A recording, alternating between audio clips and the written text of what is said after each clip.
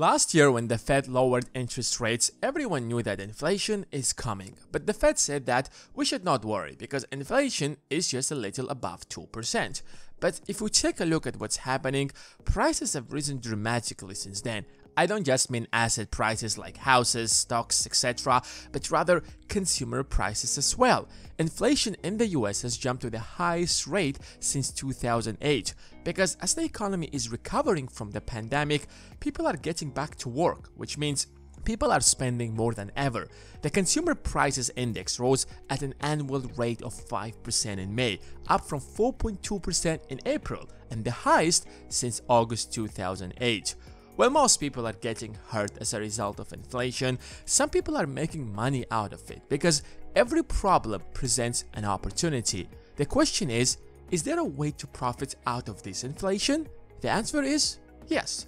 So let's take a look at different ways rich people are making millions out of this inflation. But before we get into that, make sure to give this video a thumbs up for the YouTube algorithm.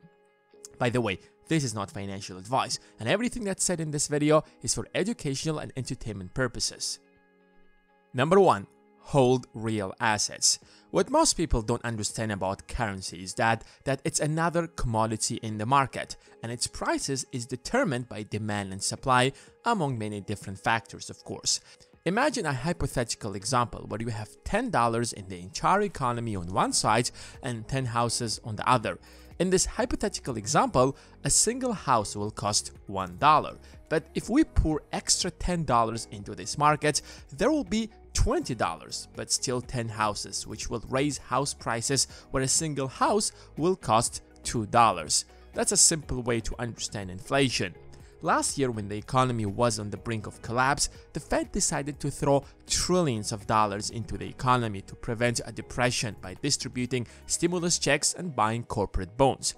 22% of the US dollars that are in the market currently have been printed in 2020. Anyone with a basic degree in economics understood that inflation is on its way. That's why whoever could afford a house back then immediately invested in real estate instead of holding cash, especially since interest rates were at their lowest point. It doesn't matter what's the real rate of inflation, whether it's 2.4% or 3.4%, because house prices grew by 15% and by some estimates, even by 18 to 20%. This means real estate investors didn't just beat inflation, but rather also profited enormously. But the smartest investors didn't just buy houses, but took mortgages because leverage turns good deals into great deals, especially since interest rates were at rock bottom. Number 2. Debt. Many of you might have a really negative opinion about debt, but debt can be really good, especially when there is inflation. If a dollar today worth more than a dollar tomorrow, that means if I borrow a dollar today and return it tomorrow, I have made a profit. The median house price today is around $350,000, but 20 years ago it was less than half of that at around $150,000. Because every year the real value of the dollar falls, which means the same $150,000 20 years ago today worth $350,000. That's why when the Fed lowered interest rates and started buying corporate bonds, guess who started borrowing all that money? World's largest companies such as Amazon, Facebook, Microsoft, Apple, and so on, although these companies don't need that money at all. Apple is sitting on a pile of cash worth over $200 billion, but it's still borrowed money because why use your own money when you can just throw your money into the S&P 500 for example and get at least a 10% return and borrow money at just 1%. Even if you make a 5% rate on that borrowed money by investing it into your operations, you're still making a 4% profit. On top of that, when you borrow money, you get all of these tax benefits, so you will also save on taxes.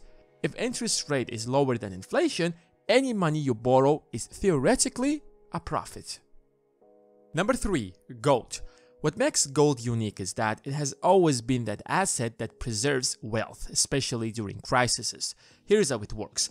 The moment the future seems unpredictable, gold prices rise. In 2007, gold prices rose from around $600 to $1,000 because of the 2008 crash. Investors panicked and immediately started buying gold. The US dollar might lose its value and even become worthless one day, but not the gold. While the US dollar has lost over 90% of its value in the last 100 years, gold has kept its value since the beginning of civilization. In 2010, investors panicked again and started buying gold aggressively to the point where gold prices hit a record $1900. But since then, the economy has stabilized and the gold bubble burst. When the economy seems like it's going to grow, investors usually don't buy gold and invest in assets such as stocks.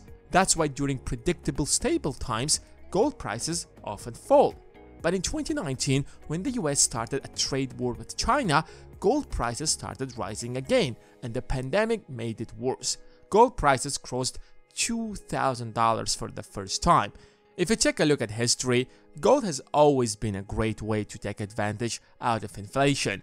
In 1973, a single US dollar was a lot of money, but today it barely can get you even a candy. But gold prices have risen from around $100 in 1973 to $1,800.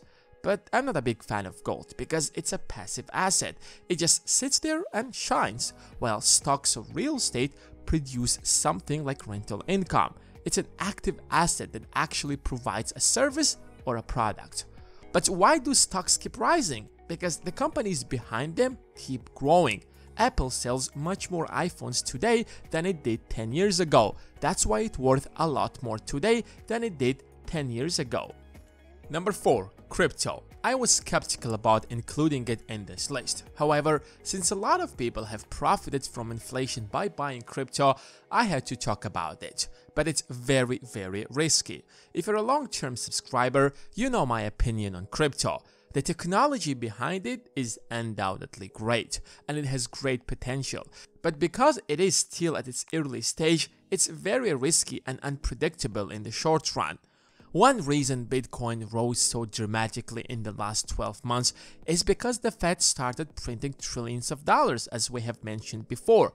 After buying stocks, houses, investors were like, Bitcoin is like digital gold, so let's try to buy Bitcoin as well. A lot of people who were not interested in Bitcoin prior to the pandemic don't really remember that the price of Bitcoin was just around $8,000. Before the trade war, the Bitcoin price was just $3,600. If you were interested in Bitcoin when most people didn't care, you could have earned a fortune. But people usually get excited about something when it's all over the news. But the smartest people got into it before the masses and have grown their wealth by 10 to 20 times since then. Number 5. Stocks this is my favorite option. Stock prices might not have risen as much as crypto by a few thousand percent, but they're much more stable and less risky. From July 2020 to July 2021, the S&P 500 grew by 40%. That's an astronomical return, especially since you are investing in the entire US economy. When you buy a stock, you're buying a share in a business. That's why they're also called shares. Whenever there is too much cash in the economy, the value of these businesses grow, so you're growing together with inflation.